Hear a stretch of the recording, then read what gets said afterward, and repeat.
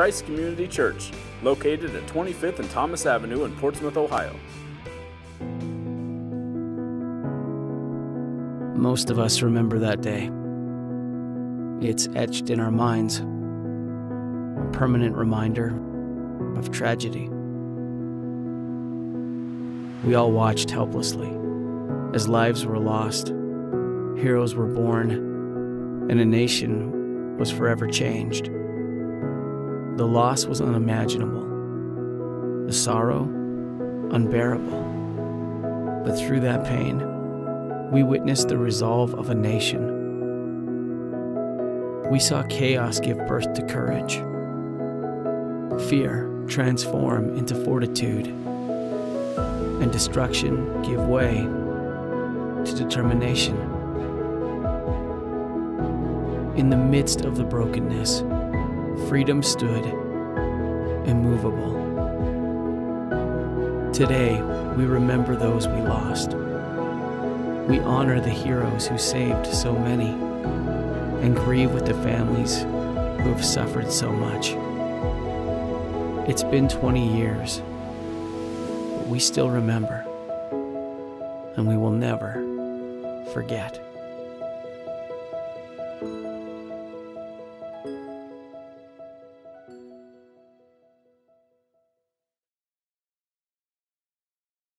Well, it has been 20 years. Hard to imagine. It's 20 years ago, 9 11. Uh, I know that those of you old enough will always remember where you were um, when you got the news. I was actually just a couple hours drive outside of New York City uh, when it happened. I was in law school, my first year of law school, um, at Cornell in Ithaca, New York, and I was sitting, and there was a student center. It was before my torts class, and they had the Today Show on. I was sitting there going over my notes, and the report came in that a plane had hit the World Trade Center. I thought, well, that's strange. And, and they go there, and then I watched the second plane hit, and I looked over to the student next to me, and I said, this is Pearl Harbor. And, but then a little bit later, they canceled classes. Almost every student just jammed in to the student center. We were all sitting there watching TV, you know, maybe 200 of us. And one of the towers fell. And sitting in a couch across from me was a young woman who both of her parents worked in that tower. And she lost both her parents that day. She looked to the air and she shrieked. I will never forget that and we should never, ever forget. Um, but something to be proud of. I don't know if you caught this online or not, but uh, one of our own, Dale King, his parents Lou and Carolyn are sitting right over there. We're part of a Veterans March yesterday. Dale marched 50 miles to Ground Zero yesterday. And so when you see him, I messaged him last night you know, I knew he wouldn't be here this morning, but next time you see him, tell him thank you for his service and thank you for what he's doing. Um, if you got a bulletin, and you should, inside, there is a little insert. One is from me, which we'll get to later. The other side is a little thing gauging interest in a church trip, either to Uganda, maybe when um, Patrick gets married, which he will in the spring, or perhaps when they officially kick off Christ Community Church Uganda, if you're interested in that, or a trip to Israel. Now, I have to say this about the trip to Israel. Um, I've been, a number of you have been. If you haven't, it is expensive, but it's worth it. There's just something about, you know, it, it's, it, they will try to sell you all kinds of tchotchkes. It's kind of touristy, all kind of stuff. But to be on the Sea of Galilee, I remember going with Ralph, and Ralph was right in front of me, and we were climbing the steps up to where Solomon's temple and Herod's temple once stood. And Ralph just looked back at me, had tears in his eyes, had a big smile on his face, and said, I'm walking in the same place Jesus did. And that is kind of cool. So if that's something you want to do, fill that out. You can just put it back in the um, offering towers, buck, whatever we call them back there. Um, and you can do that. Finally, before we jump into sermon series. Some folks who are here that I want to thank. Um, John and Sandy Klein, when you pulled in, you probably noticed the parking lot looks really good. That's because of them. Thank you guys so very much. Thank you, thank you, thank you. Ah, good deal. All right. This morning we're doing something a little different. Uh, this is our Back to Basic series. Up into December, we'll be covering kind of the core things that define Christianity. Two weeks ago, I did the existence of God and the nature of God. Last week, Dad did the Bible as the Word of God. Today, we're doing how do you study the Word of God? How do you know the Word of God? And, folks, we must take this very, very seriously because we're in all kinds of trouble in our country, not just politically, but spiritually and morally. And that's because, primarily, even people who identify as Christians do not know the Word of God. They just don't. This is from, uh, it's in your bulletin, but I'll, I'll just point it out. Dr. Al Mohler, who's the president of Southern Baptist Theological Seminary, wrote a few years ago fewer than half of all adults in America can name the four Gospels. Many Christians cannot identify more than two or three of the disciples. Uh, by the way, please, if you're polled, Mark and Luke were not disciples. Just because they have a gospel with their name on it, they were not among the 12. Just don't, don't embarrass me. According to data from Barna Research Group, 60% of Americans can't name five of the Ten Commandments. George Barna wrote, George Barna's kind of the Gallup of Christianity, he said, No wonder people break the Ten Commandments all the time. They don't even know what they are. The bottom line, he said, America is biblically illiterate. And what you will find is this is, this is funny but sad. I mean, uh, Megan has pointed this out on her blog and her podcast through the Bold Movement. A survey just a few years ago found that 50% of high school graduates in America thought Joan of Arc was Noah's wife. That's bad. And even if some Christians, they call themselves Christians, they go to church, they hold beliefs that are contrary to what Scripture clearly teaches, such as 72% of Christians said people are basically good. Is that what the Bible teaches? What does the prophet Jeremiah say? The heart is wicked, it cannot be trusted. What does Paul say in Romans 1 and 2? We are all sinners. 52% of Christians today in America say there's no such thing as absolute truth. And of course, you know how I always reply to that. There's no such thing as absolute truth. Well, is that true? Because if you're right, you're wrong. It's a silly thing to say. 58% of Christians believe the Holy Spirit is not a real living being. 64% of Christians say all faiths are of equal value. Really? I'll take you to Iran and see what you think. 57% of Christians say they believe in karma. Folks, karma is an Eastern idea that states that if you do good things, good things will come to you. Why would Christians whose faith is centered on a perfect human being, fully God, fully human, who did nothing but heal and love, did nothing but good, and what did it get him? Torture and death. What does Jesus say to us? Pick up your what and follow me?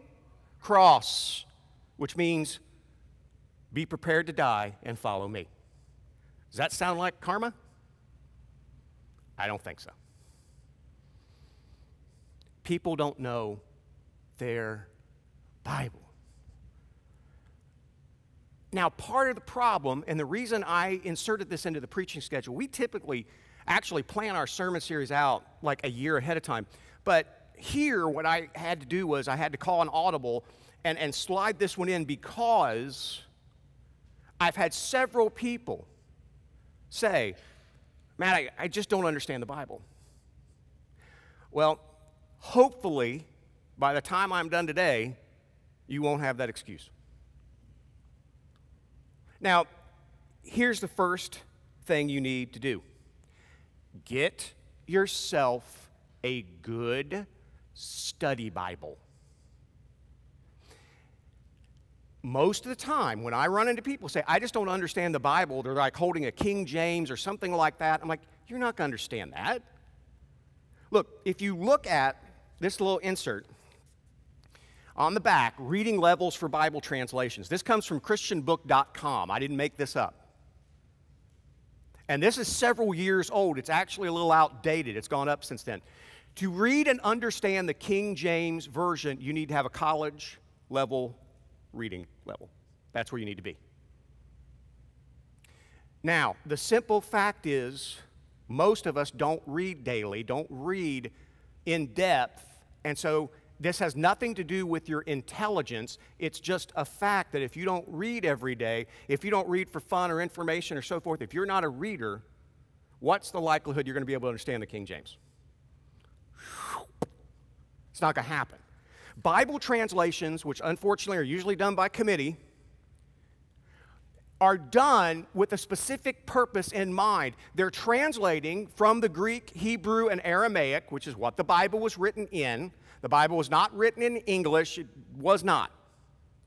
So there's nothing sacred about the English language. I'll get to more of that here in a second. Bible translations are written to different reading levels. And so, if you can't understand the edition you're reading, go get another one.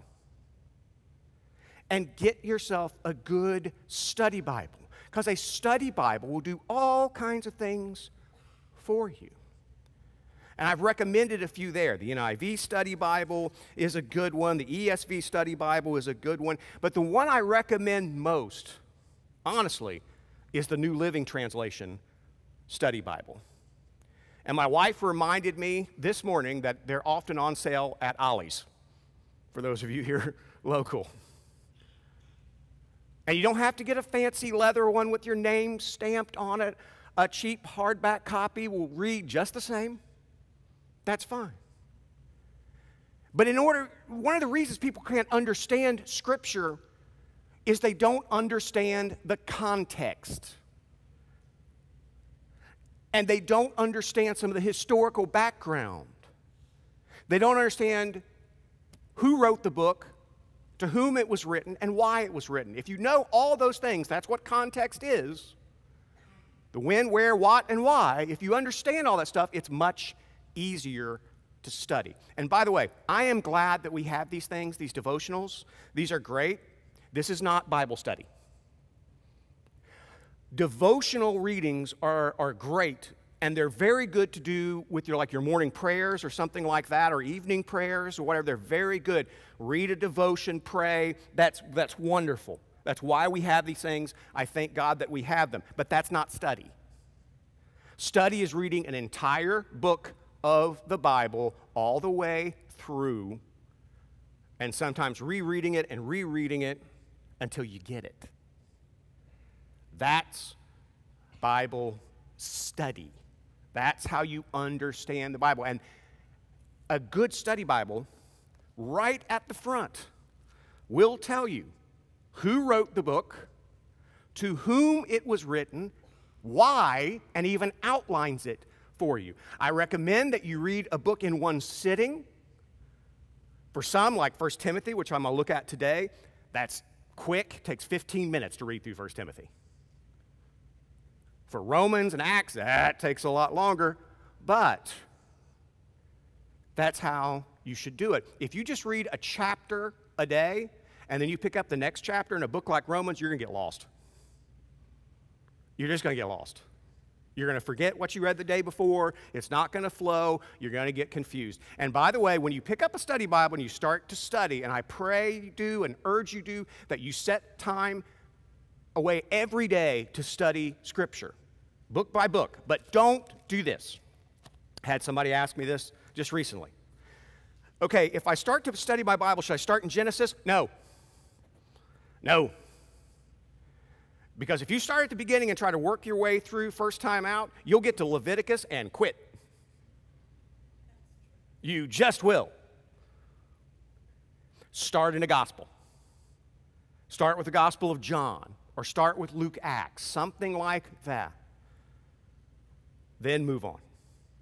Then move on. Get yourself a good study Bible. And I know some of you are like, I don't know. You know, sometimes those can run 40 $50. Folks, it's the Word of God. One. Two, how much do you pay for internet every month? Yeah. Streaming services? How much do you pay? And all that stuff's going to go away one day, folks. This is eternal. It's worth the money. Get yourself a good study Bible. Read the introductions, get the context. Who wrote it? Why did they write it? Who were they writing to? If you know that, you got a, you got a leg up and you can get going. That's how it's done. Now, the one thing I forgot to put in the bulletin because I was running out of space was this. It also helps to know the context of the Bible as a whole from 30,000 feet. If you know the big story, if you know the forest, then you can better understand the trees. If you know the big story from Genesis to Revelation, then you can put something like 1 Timothy in there and see how it fits. So, here in just like two minutes or so, I'm going to give you the big picture. Here is the Bible in a nutshell. And I had to do this in seminary. I had a, I had a, a professor say, I want you to write out in one page, double space, summarize the entire Bible. I was like, Are you kidding me? He's like, Nope. I had to do it. It can be done. God creates. Not because he needed to, but purely out of love. God needs nothing. He creates human beings, they sin, they disobey. Sin is spiritual treason, they disobey God. As a result, death and decay enter the world. And then it gets worse. Sin from Genesis 3 to Genesis 11 sin just gets wider and wider and wider. You get the first murder. God commands his people to scatter. They don't scatter. They gather together, build the Tower of Babel. God said, I told you to scatter. And he emphasizes his point by knocking that tower down and says, Now go. But then in Genesis 12, he does something interesting. There's a guy living out in a place called Ur named Abram. He later changed his name to Abraham. And God said, You, through you, I'm going to build a nation. Through your family, I'm going to build a people. Not because you deserve it. In fact, you're the least of all people, but that will glorify me. And I'm going to take you out of slavery one day, and I'm going to take you to this land, the land of Israel, and I'm going to give it to you. Now, there's nothing magical about that land. Like I said, it's really cool to go to Israel. I've been, if you can go, you should go. It's really cool. However, you get there and it looks like like bad parts of Arizona. It, it, it's not going to blow you away. The looks of it aren't. The reason God chose that strip of land was because it was right at the cross section of the east and the west. He didn't pick Israel just to be his people. He said, As my people, you will be a nation of priests. You will reach out to the rest of the world and show them who the one true God is. So when they travel through your country, whether coming from the east or coming from the west, they will see you. They will see that you are different, that you're hospitable, that you keep my law, that you love people, that you're giving, that there's no hungry among you, no homeless among you. All widows and orphans are cared for. And they will say, What is this? And you will say, It's because we worship the one true God. But the problem is, Israel was supposed to be the rescuer, but then they sinned and they were in need of rescue. And all the way back in Genesis 3, we see God said, I got to do this myself. And so God comes in the form of a human being, Jesus Christ. And notice something about the story of Jesus. What does Jesus do? Goes to Egypt, returns, goes out to be tempted and tested in the desert, goes and starts to throw out demons and sickness,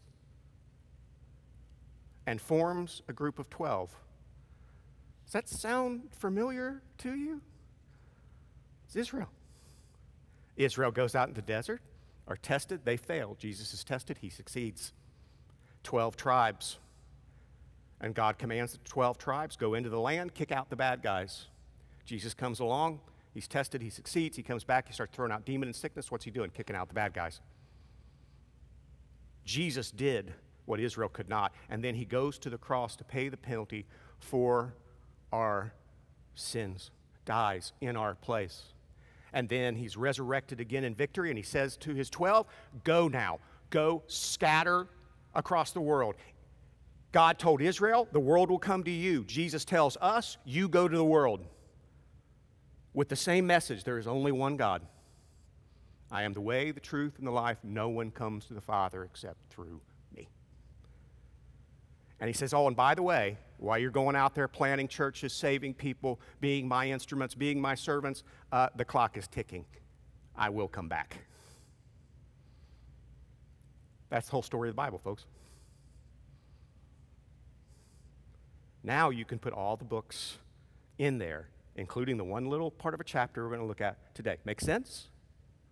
That's the big context. That's the big context. And the cool thing about a study Bible is once you get the context of the book that you're going to read, if you start reading into it and you're like, eh, wait a minute, what is that? I don't understand what uh, this festival is. I don't understand what this is about. Well, wouldn't you know it? Your study Bible have little footnotes to almost every verse that will explain it to you.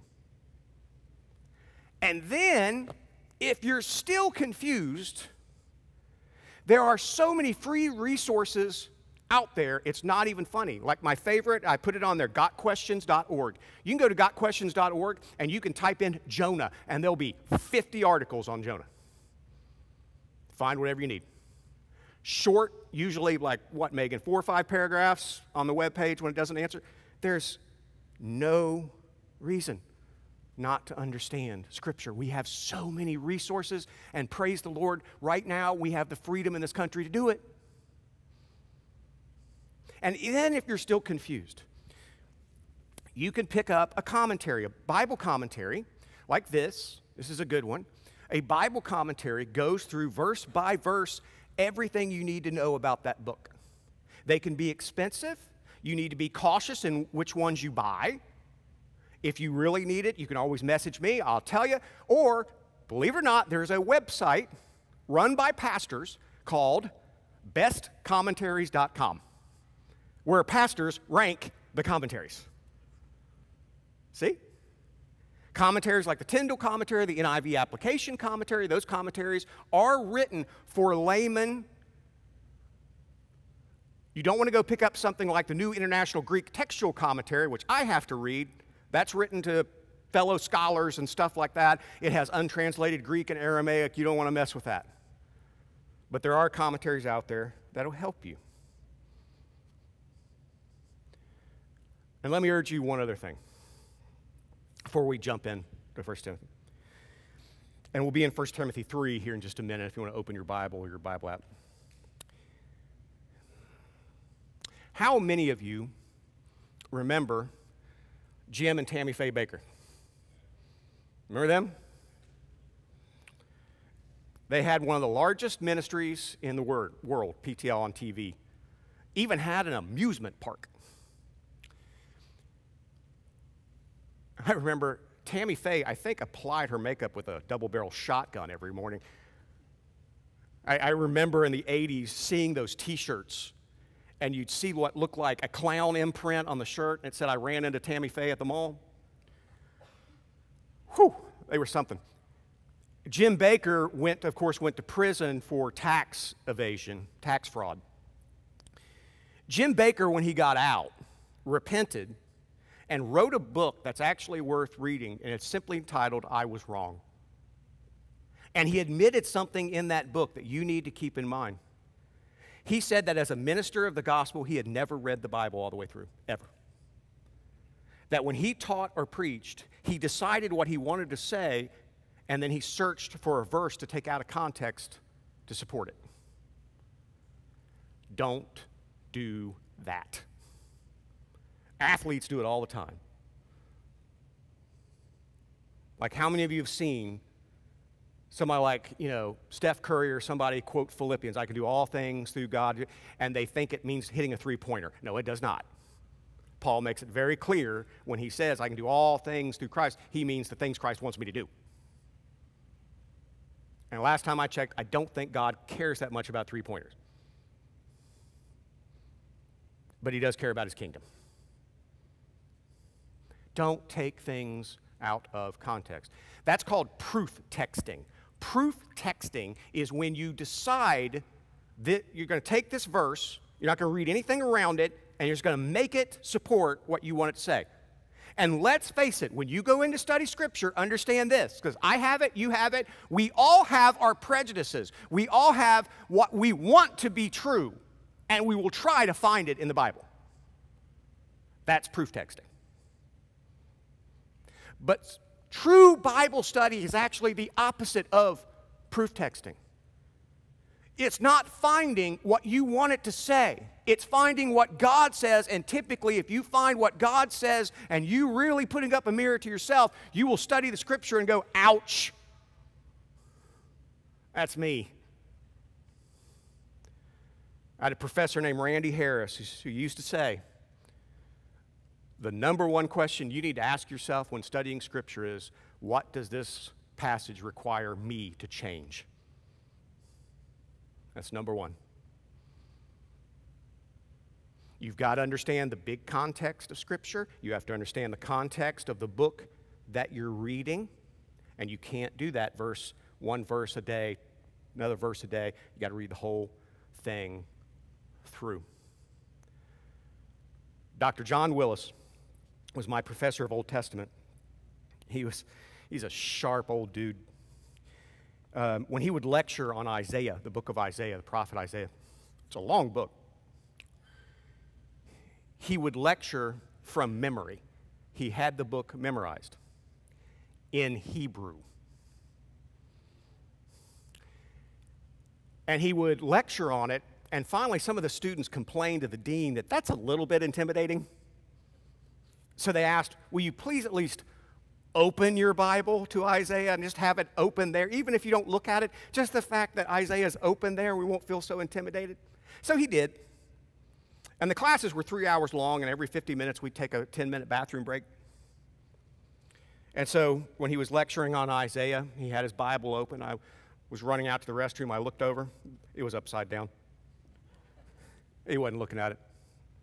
Dr. Willis said, a text without a context is a pretext for a proof text. Keep everything in context. Context, context, context. Who wrote it?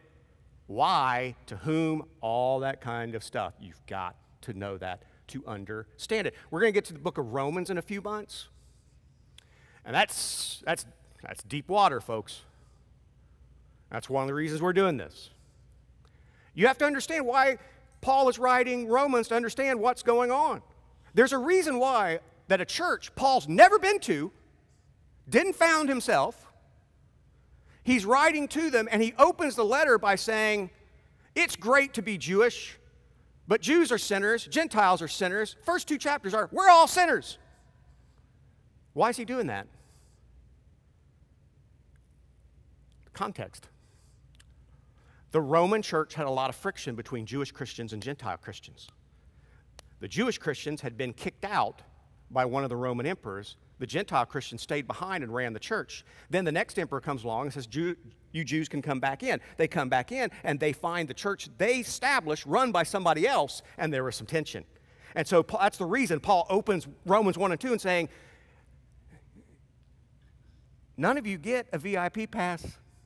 You're all sinners. That make sense? That's why he opens the book that way. Context. You understand the context? You're good to go. You're good to go. Now, let's take context of 1 Timothy. 1 Timothy 3, along with Titus, has been a passage often abused and used hurtfully. And we'll talk more about that here in a second because it's not, it hasn't been very well translated, one, and two, it's been taken out of context. Taken out of context. Now, here's the deal the Apostle Paul was what we would call today a church planter. He would go to a town and he would spread the gospel. The Holy Spirit working through him would convert some people. So he'd form a church. He would lead that church until he identified some wise, mature people. He would appoint them as elders. Elders in the early church were the church leaders, they were the ministers. Elders were not a board of governors, they were the ministers of the church. You need to understand that. That's one. They also had deacons. Deacons, the entire existence of deacons, the whole reason deacons existed in the church was to care for the poor members of the church. That's the only role they had. Now, the reason why Paul says the deacons have to be people full of the Spirit and full of wisdom is because they're handling the money. And if you remember a guy named Judas, the disciples have been burned once by that before, and they wanted to make sure anybody handling the money needs to be a mature, wise Christian. Now, we don't have deacons here. And now you need to understand again, context, context, context, because people abuse this all the time. Rome did not have a welfare system. If you were out of work, you were going hungry, or you'd have to steal or beg. There was no government agency to go to. Now, we do care for our people here. We do help. We, have, we don't announce it. We don't want to embarrass anybody. We've paid people's rents during the pandemic, all that kind of stuff. We, we help people out, but we don't need an entire office to do that. People call the church, they talk to Paula. Paula says, okay, okay, give me your account numbers. I'll call the electric company. I'll, you know, come by, I'll give you a Kroger card, all that kind of stuff. That's how we handle it. So we don't need deacons right now. But in the early church, that's what they did. The elders ran the church, the deacons took care of the poor. The apostles ran everything else, including Paul. But Paul knew that he was not long for this world. Paul knew that his day was coming, and it was. We think 1 Timothy was written around 62, around 64, 65. Within two, three years later, Paul would be beheaded as a traitor to the Roman Empire, ordered by Nero. So, here's what Paul does Paul had a succession plan in place. It's a very smart thing to do. A lot of churches do not have a succession plan and they end up blowing up because of that. We have a succession plan. At 62, I'm 49. At 62, I have to have a person on staff full time ready to take my place. And I co pastor with them for three years. Then at 65, I can either retire or I can stay on staff, but I'm not lead pastor anymore. I'll go ahead and, spoiler alert, I love you all, but I'm out of here. And, and I'll tell you why. It's not because I don't love you, it's because I don't want to stick around and have people looking at me as I'm still their pastor. It's like, no, no, no. This guy's got the job. Take the reins, buddy. Does that make sense? So that's my plan. Now, Paul had a succession plan. He had two guys that he was training to take his place as a church planter Timothy and Titus. Remember, again, the big context of Scripture. Israel was created for the world to come to them and to show them the one true God. But Jesus says, as the church, you go out to the world and show them the one true God. That's what Paul's doing. By going and planting churches in city after city after city, he is fulfilling the commands of his Lord and King, Jesus Christ. And now he's helping Timothy. Timothy is, is a young guy, he's in Ephesus. Paul wanted to come see him, but he got delayed. And so he writes him a letter and says, I'm just encouraging you. And remember, keep these things in mind when you plant churches. And by the way, folks, I'm a big fan of church planting. I am. We're planting a church in Uganda, obviously. But be careful. One of the reasons why biblical illiteracy is so high, and one of the reasons why the church is in the shape that it is in, and in fact, I had this discussion with somebody last week. Do you know that in America, 85 churches close a week?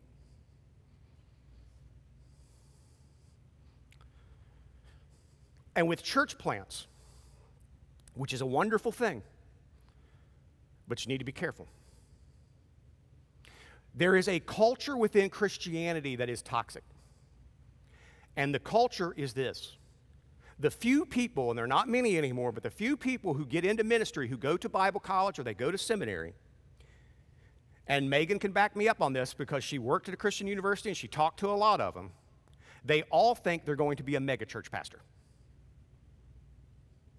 They all think a megachurch is a church of 2,000 or more. They all think they're going to be the next Andy Stanley. They all think they're going to be the next Steven Furtick. They all think they're going to be the next Joel Osteen. And to do that, guess what the temptation is? Not to preach the Word of God, preach what they want to hear. And then, when it doesn't happen, because it rarely does, they quit. Or it explodes. And they do something stupid.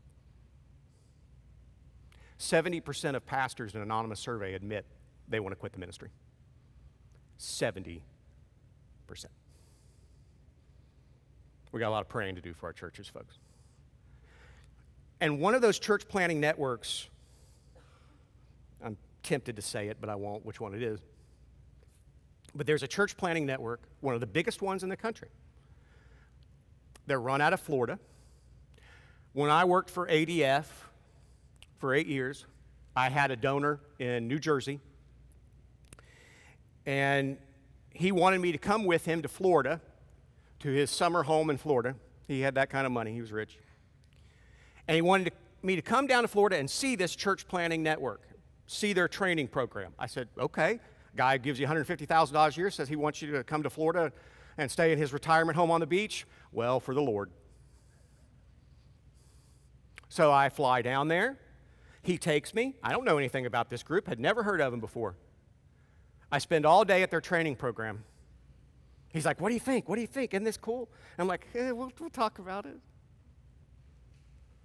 So we go out to dinner that night. He said, All right, Matt, I know something's on your mind. Tell me. He said, Okay.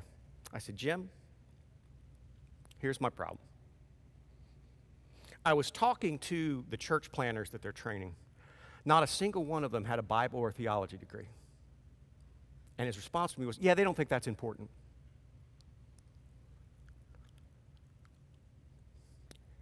Would you let somebody operate on you who didn't have a medical background? He said, The important thing is marketing skills. I said, What about the Word of God? What about knowing the Word of God, understanding the Word of God, teaching the Word of God? He said, Oh, they send them their sermons every week. I said, What?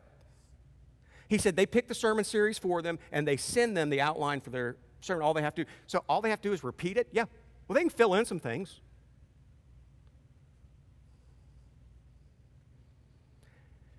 Does that look anything like what we saw in Acts?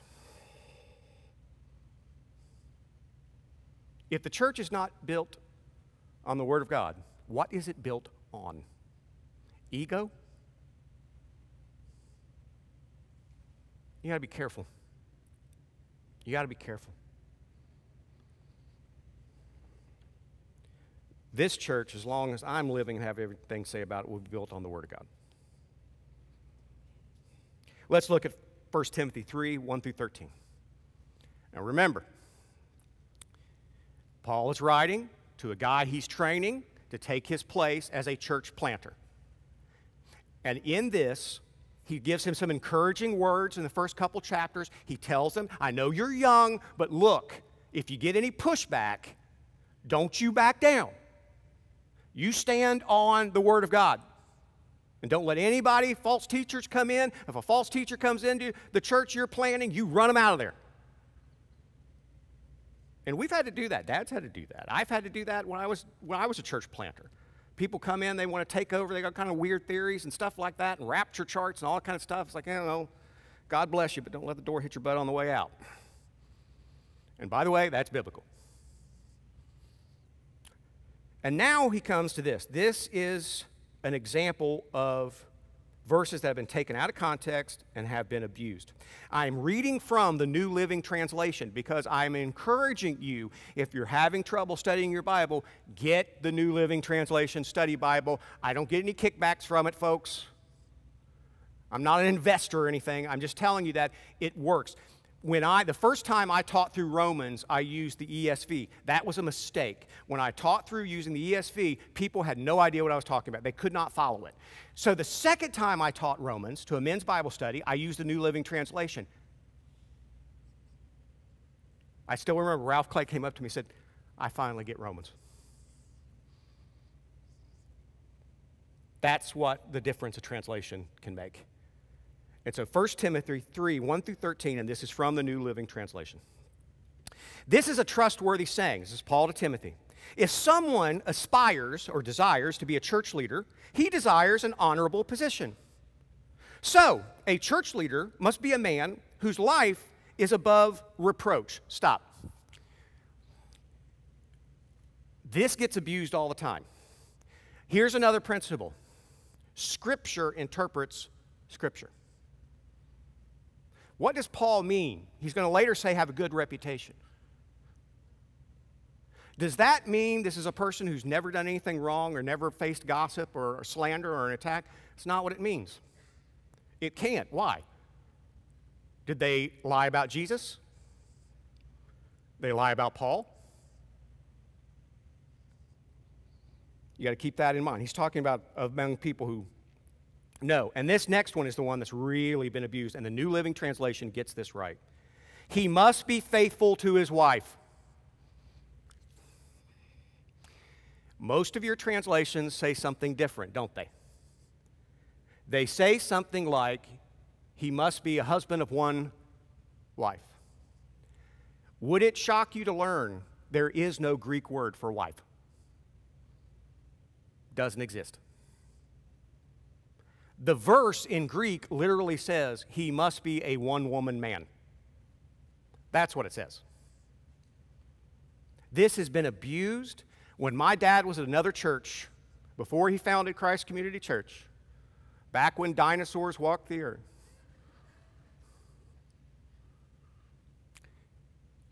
he got into a kerfuffle over this.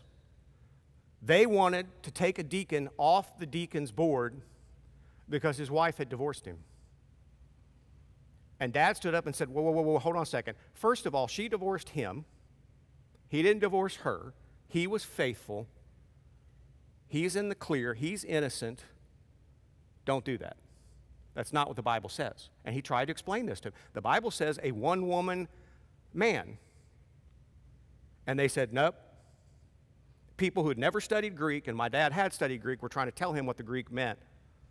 That's a bad idea. This has been so abused. Charles Stanley went through this. When Charles Stanley's wife left him, Baptists all across the South said, You should resign. He said, I didn't. And his wife admitted, He's never cheated on me. He's been a faithful husband. I just don't want to be his wife anymore. I don't want to be a pastor's wife anymore. And they said, No, you should resign. First Timothy. They're not understanding First Timothy. Put this in context, historical background. One Roman historian said every Roman man has a wife, a mistress, and a favorite prostitute. That was part of the culture, it was accepted. What Paul is saying when he writes, remember, Timothy, an elder must be, a church leader must be a one woman man. He's saying no mistresses, no prostitutes.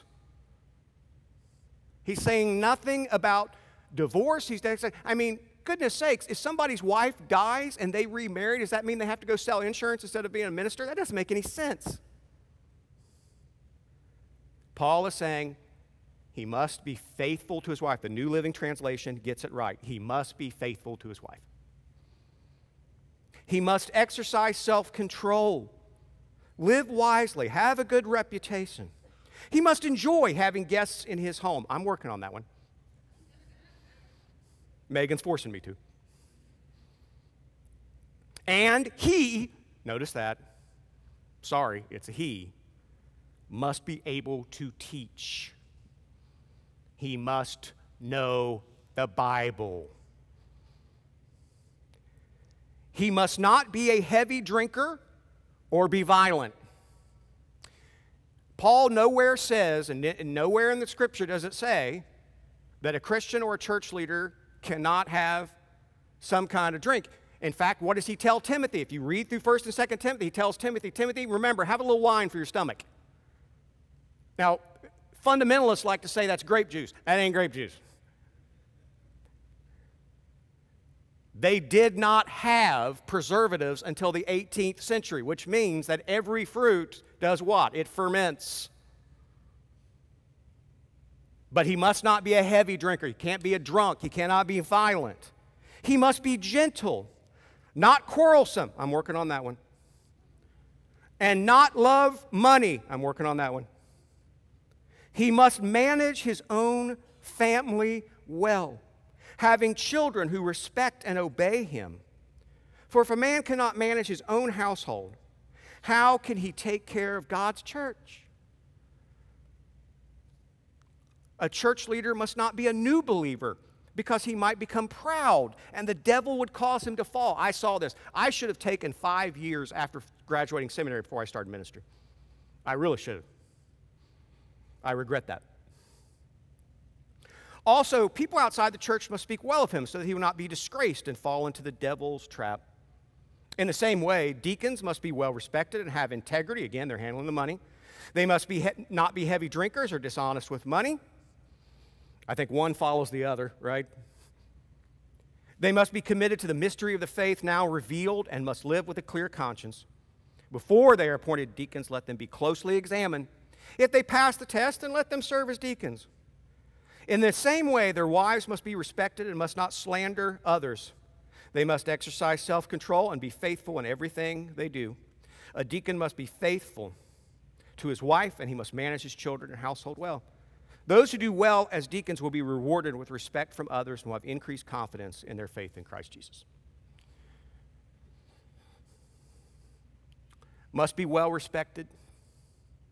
Not, that doesn't mean, by the way, well liked. There's a difference between respected and liked. I'll tell you something I've learned from my father. My father can be a little direct. But I know people who will tell me, I've had people tell me, I don't like your dad but I respect him. I know he always tells me the truth. That's what Paul means by respect. That you're an honest person. Now, did that translation help you? See what difference a translation makes? See what a difference understanding the background makes, understanding the context makes? Paul is telling Timothy, take this seriously because you are building outposts for the kingdom of God to obey our Lord's command. So you take church leadership seriously. That's why we've had people come in here it's like, I was saved last night. God's called me to preach. Not here, He hasn't. You're a brand new believer. Sorry. But I have been called to serve the kingdom. Great, go clean the bathroom. No, you don't understand. I understand. If you're not willing to clean the bathroom, you got no business preaching.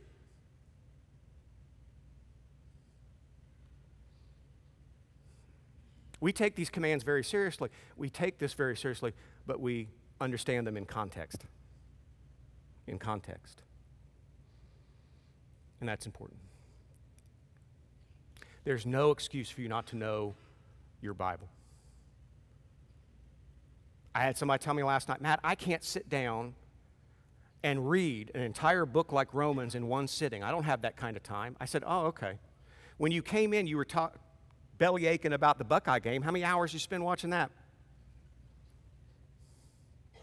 You got time to watch a movie, you got time to watch a football game, but you don't have time to read a book of the Bible? What you re- let's be honest. What you're saying is, I don't want to. And you should repent. It's the Word of God. Knowing the Word of God. You can be a Christian and not know the Word of God, but it makes a difference. You can't really impact the kingdom or be a disciple unless you know the Word of God. Let me give you an example and I'll quit. John Newton became a Christian while he was a slave trader. He continued to be a slave trader for some time. The man who wrote Amazing Grace was a slave trader. But then he started to study his Bible. And once he really started to study his Bible and he and really got to know the Word of God, not only did he quit being a slave trader, he teamed up with a guy by the name of William Wilberforce and outlawed slavery all throughout the British kingdom. He was a Christian when he was a slave trader. I know that's controversial to say, but he didn't know the Word of God. Once he knew the Word of God and knew that every person was made in the image of likeness of God, he knew he could no longer do what he was doing. Not only did he know he could no longer do what he was doing, he knew he had to put a stop to it. He was a Christian, but when he got to know the Word of God, he was a kingdom warrior. And that's what I hope and pray for every single one of you. Don't be embarrassed. Unless the Lord comes today or something tragic happens, you got time. Dig in. Open the gospel, get yourself a New Living Translation, I guess at Ollie's. Go to the Gospel of John, go to Luke, go to Acts, start studying. Put time aside every day to study the Word of God so that you, like John Newton, can possibly be transformed John Newton's best work may be, best known work may be Amazing Grace, but I always love the quote he quoted about once he understood Scripture and began to serve God in accordance with Scripture. He said, I am not what I should be. I am not what I will be. But by the grace of God, I'm not what I was. Study your Bible. Let's pray. Heavenly Father, we thank you for your Son, our salvation. And we thank you in grace upon grace, you have given these 66 books to us. You've raised up scholars to help us understand it, translating from Greek and Hebrew and Aramaic, given us so many resources and so much time, and I just, and the freedom to study it. I, we pray for those in Iran and China and North Korea that have to smuggle your word underground, for those in Afghanistan who can be killed for just simply possessing your word. We have the freedom here. Let us not let it go by. Let us take that freedom and study your word and grow to serve your kingdom well. We pray this in Jesus' name. Amen. God bless you. God goes with you. I'm off to do homework and then watch the Bengals lose. Have a great week. Christ Community meets on Saturday at 5 p.m. and Sunday at 10:30 a.m. For more information, visit www.christcommunity.net or check out our Facebook page.